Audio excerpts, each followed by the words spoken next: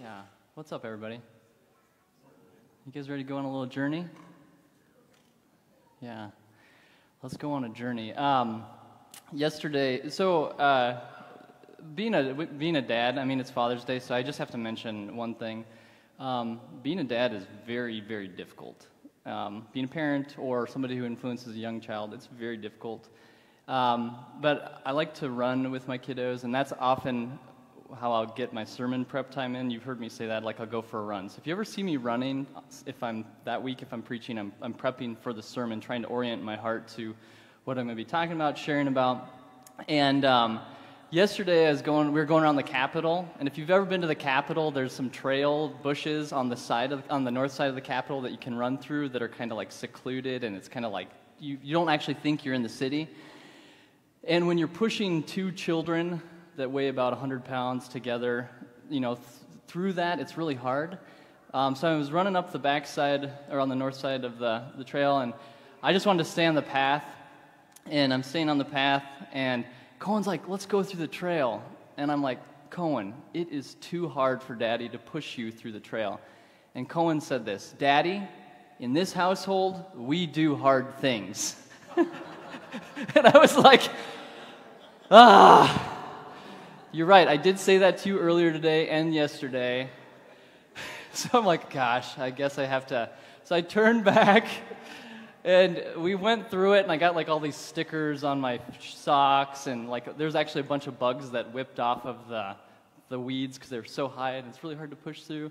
And he's like, "There, Daddy, there's spiders on me now." I'm like, "I told you, you know." But we learned together. But I just thought it was funny because it's like, man, these little these little human beings, they they do listen to us, and it does connect today to. Um, um, to what I'm going to be sharing. I'm going to be speaking a little bit in the book of Proverbs. And I'll just say this up front. My, my, my hope is that you would leave today being persuaded. Whether you're older or younger, the book of Proverbs is to persuade. And I'm going to just throw the invitation out right here, the challenge. I want you to read the whole book of Proverbs um, in this month, in this series. Uh, this is a picture of, bring it up. Can you guys see that? That is my, this is Opal, my great grandmother. And she died when she was in 92. I was a freshman in high school. And um, yeah, anywho, this is my great grandma. Well, let's leave it up there. She was, she was wonderful. Uh, just a couple things about my great grandma Opal. Uh, we, we gave her name to Adeline's middle name, so it's Adeline Opal. But this woman played a huge role in my life spiritually. She didn't have much money, but throughout the year, the little money she had as a widow, she would save about a hundred bucks and she would send me to camp every summer. It's called Woodbine Ranch, and it was at Woodbine Ranch where I felt God's just knowing that God loved me, and I responded to God's love to where I'm like, okay, I'm gonna follow you. And it was actually at this little there was a concert. This guy named Danny Ortley just you know did an invitation. Do you want to follow Jesus? And I did but it was because my great grandma Opal saved the little bit of money and she, um, she sent me to camp. And um, yeah, about a month ago, I was in my room, and on Chantel and I's room wall, we have this plaque. And uh, it says Chantel and Jim, but then says this, this, this proverb. It says, Trust in the Lord with all your heart and lean not on your own understanding. In all your ways, acknowledge him, and he will lead your path straight. And this was on our wall, and it says, you know, we got this when we were married, so September 22nd, 2012, we got married here in Bismarck. And I love this on my wall because if I ever forget my, my anniversary date, Just go right to the wall. It's right there, right? So that's what this has been used for. Sorry, Chantel, I'm just messing. I know our, our, our anniversary. Um, but this, um, I, I uh, it was about a month ago where I, I, saw it on the wall, and it's so familiar to me because it's always been there. This verse, I know this verse by heart, but I just remember just stopping and like looking at it and being like, what does this mean? I just remember I took about 30 seconds just like, what does this even mean? This has been on my wall. What does it mean to trust in the Lord with all your heart? What does it mean to not lean on your understanding? what does it mean to acknowledge Him and he will make your path straight. And in that time of quick contemplation, really, the first person I thought of was my grandma Opal, great grandma Opal. And um, because it was her favorite verse, I just knew it. You know, you might know somebody that this was their favorite verse. And um, it made me think of my grandma Opal. And uh, a couple, couple weeks ago, my mom came up, uh, and I don't know why she did this, but she, Grandma Opal, in, when she was getting toward the end of her, her life, my mom had her write in a, in a book just memories and thoughts of who, like what life was like. And my mom brought it up, and she didn't know I had this, like, I was thinking of Grandma Opal with Proverbs um, verse. She brought this up and she actually gave it to Chantel. She didn't give it to me. She said, Chantel, I want you to read this because I want you to know a little bit behind the name um, that Adeline has for her middle name, Opal, like who this woman was. And I'm like, you know, I thought I knew a, lot about my grandma. And um, as as I, I, knew I was going to be preaching a sermon, and I'll just throw this out there. The reason I felt compelled to ask Jared to preach these three weeks um, was because I had a conversation with Charlene, and I just felt like over these next three weeks, I'm going to invite you into this journey of, of um, I, I, would call it wholehearted faithfulness, if there was a series theme or whatnot. And, but I had a conversation with Charlene and Chantel, and I was just like, God, what does it look like um, to be faithful? Anywho, my, my mom brought this book up, and I've been reading through it to kind of like study up on my grandma. And I thought I knew a lot about my grandma. Uh, this, this person, um, she just played a huge role. We'd go to her house every Tuesday night when I was little, and my mom would help like her take a bath, and then we'd have a big family Southern style meal just for us and our family.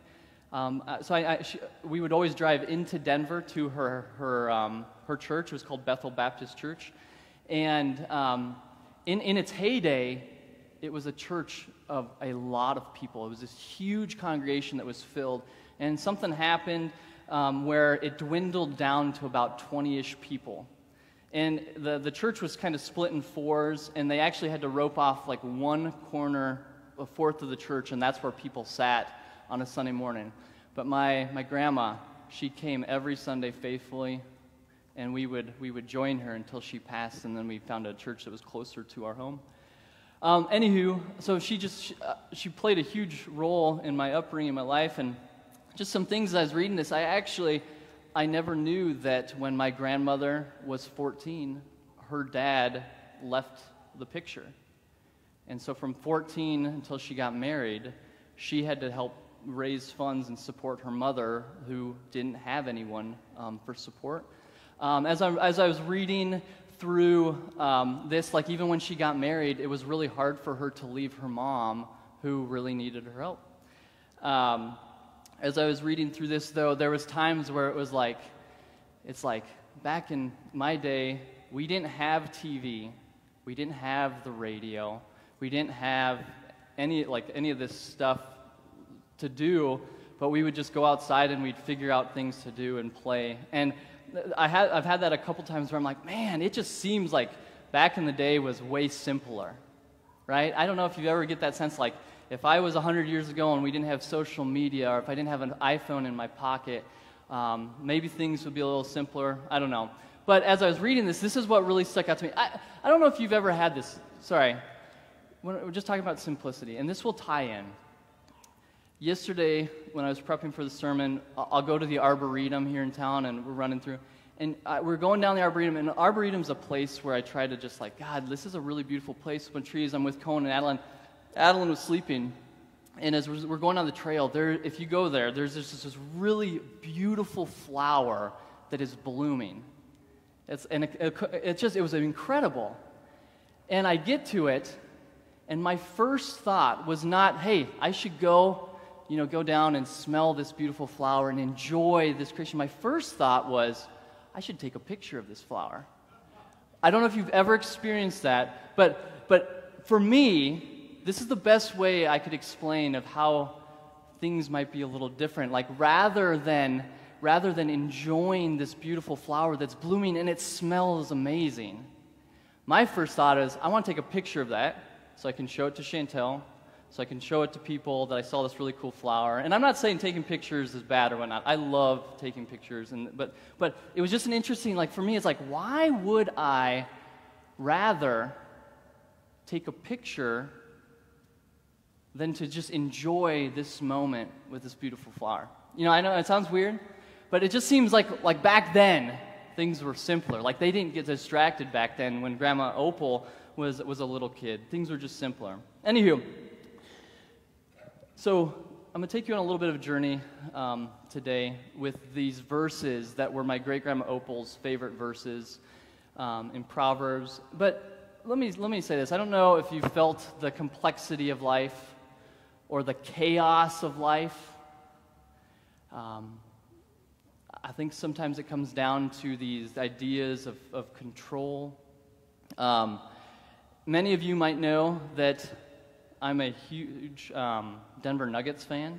And yeah, that's right, Dave. Um, yeah, I'm a huge, huge Nuggets fan. And I have to share this because, first of all, they won the championship recently. It took them 47 years. Yeah, I, Dave, I know you're a huge fan. Thank you. Um, somebody, somebody's like, who are the Denver Nuggets? Um, but they won the championship. It was a really big deal. If, and I've been following them for a long time. But I'm, I'm fascinated by their, one of their main guys who got the MVP. And I just, this sticks out because this is, this is not the norm. All right? This is not the norm. When you win a championship, you go around and say, I'm going to Disney World, I'm the best, I do the circuits. Um, but this is what um, their main guy said.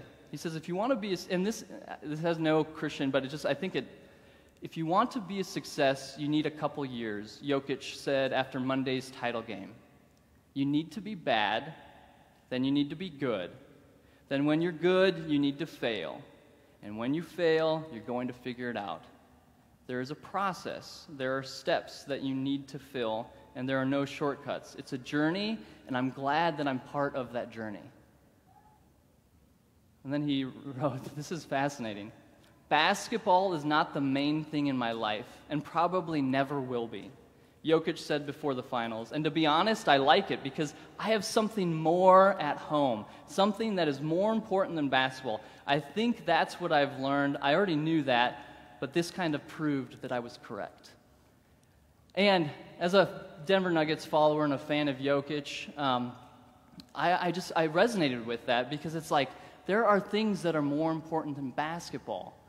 There are more things there's something more important. And, and, and this book of Proverbs is going to emphasize whatever that thing is. And you probably already know it.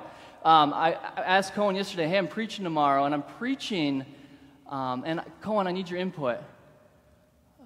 Why are things so complicated? And he said, I don't know. I said, what wisdom would you want people to, to know, or what should I tell, tell people about? And Cohen said, Jesus. I thought, I thought, are you just saying the answer? Uh, so I'm like, so does Jesus make things more complicated or more simple? And G- Cohen thought for a second, and he said, simple. And I said, well, what do you mean? He said, I don't know. But I do think there's something in that. That there, even that easy yoke passage that Sierra shared, that there's something about life with Jesus that makes things simpler even amidst a world that might seem chaotic and disordered or complex or out of control. And here's the reality we want control. We want to be able to take the picture so we can share it with everybody. We want to control stuff. So, but, but here's the reality we cannot control God or Jesus, but we want to. And there's going to be an invitation in that. And here's the reality, too this book of Proverbs that was my great grandma's favorite. I, I, I have to read this too, real quick. I just got to just. There's two things that really stuck out to me, and take, take this. This is incredible. Because, you know, I'm talking about. Said, Did you ever feel that God had a special calling on your life? She wrote, I never felt I was called to foreign mission work, but I know He wanted me to teach and witness for Him. I taught from the age of 14 to 75, at which time Gaylord was not well and he asked me to give up my class. I taught in VBS from high school days. it was our pastor who had the first VBS. I was a, there was a couple with a couple other ladies after school club, and, and we would sing, had a story time, and had good group each week. I held others' offices in the church the, as a clerk, secretary, and treasurer. But look at that 14 to 75. What's the math on that? That's 61 years of being a teacher, of faithfully doing something. I, I thought that that was fascinating. The other thing that I thought was just incredible is when I was thinking of this, like this idea of faithfulness, it's like, well, what made my grandma care uh, uh about Jesus to want to give 61 years of her life to teach? But it wasn't just that, it was her whole life.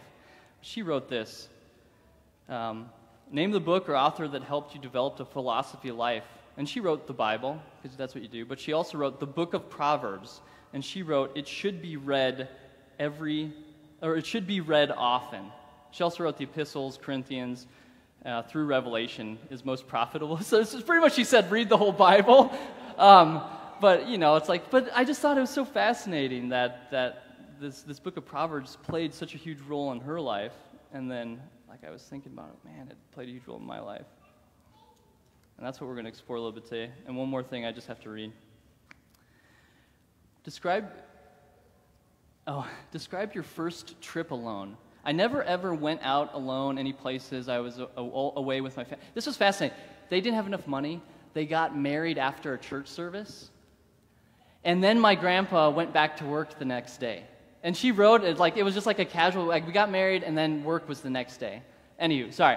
Um, she said, I never went alone any places. I was always with my family. Even when Gaylord passed away, was the first time I was alone in my life. But my Lord Jesus has been very precious to me.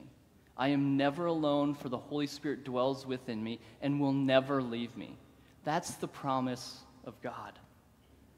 I read that, and it made me think, as I wanted to preach this morning on wholehearted faithfulness, here is an example in my life of somebody who is wholeheartedly faithful to Jesus. If you read her, read what she wrote, there are times where things are difficult, but she recognizes that Jesus was the center and is the center. And in the book of Proverbs, this is fascinating. Like I said, I want you to read it all, but this is um, the passage of Scripture. And I, and I, and I, I even this week, as, as I memorized it, I, I kept thinking of Cohen my son. I kept thinking of Adeline, my daughter, and Caleb. And I want you to be thinking of the people that you are influencing. Because the book of Proverbs is to persuade people that, that the center is Jesus and that's the best thing ever. Everything else is not the best. But it's specifically the book of Proverbs, on the very front end, it's a, it's a dad talking to a son, or you could think of a, of a parent talking to a child. And at the very end of Proverbs, there's a mother who's talking to the son, or you could think of a parent who's talking to a child. And their whole idea is to persuade them to be like, hey, you're going to probably go down some other paths, but this is the best path. So, this, this book of Proverbs, it's, it is super fascinating. There's two themes that come up in the book of Proverbs. The first one is the fear of the Lord, and it's really this idea that we revere or we think of God as the one who is the center of all, and we just happen to be in his orbit, but that, they're, that, that to revere God is to be like, I'm not the center, you are. A lot of time I want to be the center. Please forgive me if I am the center. But Jesus, God, you are the center. So it's this, this theme of that the, that the fear of the Lord comes first. But then in the book of Proverbs, all throughout it, it talks about this idea of wisdom or chokmah. And chokmah means um, it's really this idea that reality is reality that, that, that wisdom is of God. Everything, how the world operates, is a, there's a framework, there's a blueprint, and wisdom and seeking wisdom is trying to figure out how that framework or blueprint operates. There aren't multiple frameworks, though we'll go into our world and navigating it, where it's like, well, you can try a little bit of this framework and a little this framework if it feels you good, and you make the decision, you're the center of all. No, the whole book of Proverbs is it's, it's this framework for living, and that framework involves wisdom. And wisdom can be sought, and that seeking, that person of wisdom is God. And so there's these two themes that are all throughout the book of Proverbs. And here's the, the verses. And I thought it was fitting today for, for Father's Day. I think one of my children are in here. They might not be here. But it, it goes like this Proverbs 3 1. It says, My son, do not forget my teaching. My son, do not forget my teaching, but let your heart keep my commandments. For length of days and years of life and peace, they will be added to you. Now, as I'm reading this, imagine yourself as the child that the father or the parent or the, the, mother or the parent is speaking to because it's all about persuading you to take on this wisdom lifestyle, which is truth, which is reality, which are the ways of God. So, my son, it's hard to memorize. Oh, it's up on the screen. My son, do not forsake my teaching, but keep my, let your heart keep my commandments. For length of days and years of life and peace they will add to you. Let not steadfast love and faithfulness forsake you. Then what? Bind it around your neck. Bind it around your neck. Write it on the tablet of your heart. Why? So that you will find favor and great success in the sight of God and man. Trust in the Lord with all your heart, and do not lean on your own understanding. In all your ways, acknowledge Him, and He will lead your path straight. As I was thinking of this, um, this idea in, in, in, these proverbs and, and whatnot, um, I kept thinking, like, um, you know, like, man, there's something fascinating about this because if it's about persuading, what is the, the, the, what are the parents like persuading somebody to do? They are persuading them to um, live this, this life, right? Like what, um, what is this wisdom life? What, what does it look like? What does it mean to fear the Lord? Or have this wisdom. And, and this wisdom isn't just like head knowledge, this wisdom is like rules for living. And here's another fascinating thing about Proverbs. Sometimes people have engaged the book of Proverbs where it says a proverb in the later portions and be like, well, here's where it says you need to do this and this will happen. The book of Proverbs isn't promises. The book of Proverbs is all about probabilities. And it's this probability if you do this over a long period of time, this will more than likely happen. And sometimes somebody would be like, Well, I followed Jesus my whole life, and the great success that this proverb or this talks about didn't happen, and my life is in shambles. Here's the reality if, if Jesus is the center of your life and your life feels like in shambles, you got the best thing, anyways. But here's the other reality sometimes life is complex and the book of Proverbs doesn't address it. So you have the other wisdom literature, like Ecclesiastes, where it says it's very cynical. We have the book of Job, where it's like, I did everything that the Proverbs said, and my life still isn't a great success. But in all of the wisdom liter- literature, it's always fear the Lord and pursue wisdom, whatever that looks like.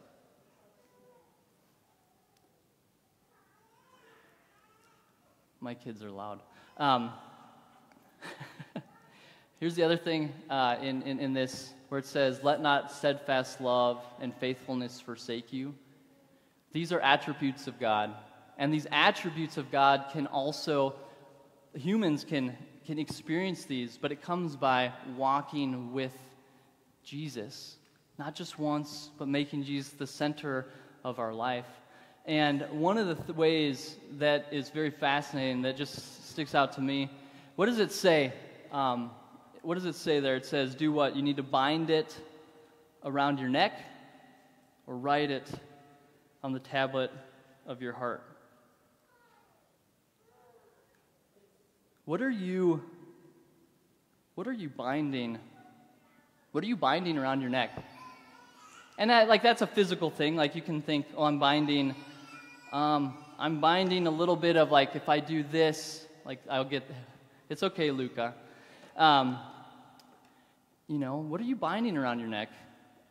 And I know for me and how Jesus has been speaking to me, in the, in just even in this last year, there's some good things that He's bound around my neck. You know? One of those things that I've bound around my neck is my family. I love my family. But there was a point um, when I went to um, actually a prayer conference in Fort Wayne, Indiana, where it became very clear that yes, my family was important, but I wanted to control the outcome. I wanted things to happen the way I wanted them to happen. We were expecting a baby, and Caleb is now here, and I wanted that to go perfectly. But I recognized through God's Spirit working in me that family was an idol for me, where I was actually putting that before Jesus. You know, kind of like, hey, Jesus, if you show up and work in my family's life, great. But if you don't, I got this. I even think of that with parenting. You know, Jesus, if you don't change my child, okay, but I'm going to do something. I'm going to control the situation or I'm going to completely just let it go. But this Proverbs way of living, where we fear God,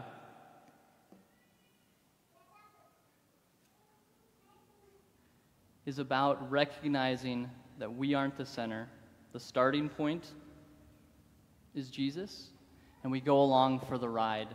And that ride involves this journey, this, um, this journey of, of seeking wisdom in the world. But we don't do that journey of seeking wisdom without that starting point, without the fear of the Lord being our starting point. And here's my, my hypothesis. Yes, a hundred years ago, it might have seemed more simple. But I would say hearts a hundred years ago were as easily distracted away from Jesus as they are today. And so we have different distractions, but we have the same Jesus steadfast love and faithfulness with those attributes, wisdom with that attribute. We have the same Jesus who invites us to journey with him step by step. A lot of times it might be like this okay, Jesus, I want to go on a journey with you. And you, you feel like you start the journey and then Jesus just disappears, like just goes to another land and it's like, okay, I got to figure this out. Once in a while I'll talk with you or whatnot. Or you might, um, you know, and you might think, I got to do this on my own. Or you might step out and be like, okay, I got this. Jesus, we're doing this. I'm doing everything. And if you show up, great, let's do this. But here's the reality is walking with Jesus in this wisdom, fearing of God lifestyle we see in the book of Proverbs that shapes people's lives is this idea of like, okay, Jesus, I don't have all the answers, but I know you do. Please bring me with you. What's going to happen tomorrow? I don't know, but I'm going to go to you to trust you.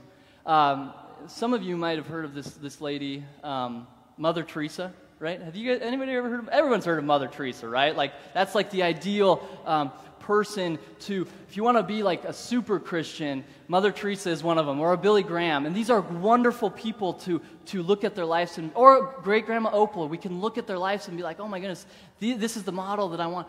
want. But um, I, I heard recently that when Mother Teresa was asked, like, how she became who she was, this follower Jesus, she said, I wake up in the morning, I pray, and I ask God, help me see you, your image, in the people I interact with today. And then she goes throughout her day, interacting, trying to walk with Jesus in this, this, this way. And then at the end of the day, she prays and say, Who did you help me see or not see Jesus in today? And then she said, That's, that's it. It's that simple, you know? And um, so as we're leaving today, um, you've probably been wondering what, what all these things are. I'm going to leave you. This was. I'm going to leave you with a little piece of yarn when you go out. And if you really want, just throw it away. If you know, if you don't want to lug it around or whatnot. But I actually want you to figure out a place. Maybe it's on your wrist. Maybe it's in your car. Um, I don't know. Find somewhere and bind this to it I don't, I don't know what it is. And be wrestling with that. What am I bound to? Because the reality is, we might be bound to some really good things or some really terrible things. But these things that we're bound to, they shape us, they shape our hearts. And the reality of the, how the world works and the framework and the fabric that underlies it all is this wisdom of God.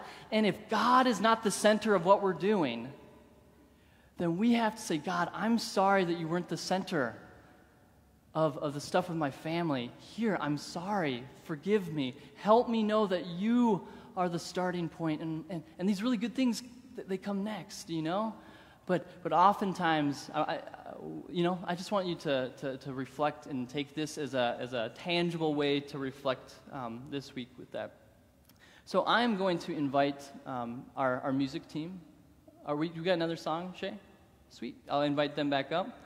And um, I'll have these little pieces of strings for you out here. And, and, and what I was even thinking, um, um, with this is that, that you would get creative, make it meaningful, or, you know, maybe, maybe don't, but really even just going to God in this. And, and, and, and as I was praying about it actually this morning, one of the most difficult things, I think, for people who follow Jesus or have yet to follow Jesus is with this concept. I'm going to go before Jesus and talk with him, or I'm just going to go before Jesus, making him the center of my life. And it's almost like okay i got to do something in this in this interaction. One of the most difficult things to do i think is to go be with jesus and not do anything because we think oh I'm, I'm with jesus i gotta i gotta memorize something i gotta do something but part of binding is recognizing that i am just with jesus even just like with that flower and to just enjoy this God who underlies the fabric of everything we do and to enjoy that. There are times where we have to work out of that. You know, we, we do things and then there's stuff that comes out of that, you know, but we got to be with Jesus. And I, I do believe that when we are with Jesus, those things that are bound around our neck that aren't God, they will start to come off, and then the things that matter, a relationship with Jesus, will be on our neck. And so we'll start going through this life, and there's distractors all around but it will be easier as we do that. And we're going to fail. Even like Jokic said, we fail. Um, we're going to fail, you know? We're going to fail, but we repent and we come back to God and say, This is where I messed up. I need you. And it's this lifelong journey that we get to go on. So I, I invite you over these next three weeks to, to journey with me in this. Take this little piece of string, I'll hand them out back there at home or um, take it home and put, do whatever you need to do with it. Talk with Jesus this week about the things that are you're binding around your neck, and um, I'll, I'll pray for us, and then I'll hand it over to you guys. God, we love you. We do. We ask that um, today, that as we go home and we navigate um, this journey, we ask that you would help us recognize that you are there with us navigating this journey with us. You're, you didn't leave us. You are with us, stepping with us. We can't do this on our own, though our hearts want to control and do it all on our own. Also, God, we recognize that life seems complex or chaotic. God, even at the beginning of the world, things seemed chaotic, but you brought order to creation. God, things might seem chaotic in our hearts, but you bring order to the things that you're doing and creating and growing in us. Lord Jesus, we ask that you would be working within and through us through your Spirit, both right now, today, as you speak to us, and as we go into our weeks. It's in your name that we pray. Amen.